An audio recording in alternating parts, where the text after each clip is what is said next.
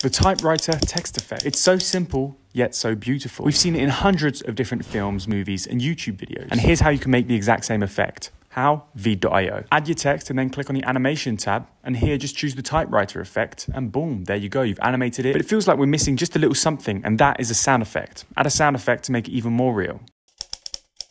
See? Follow for more tips like this.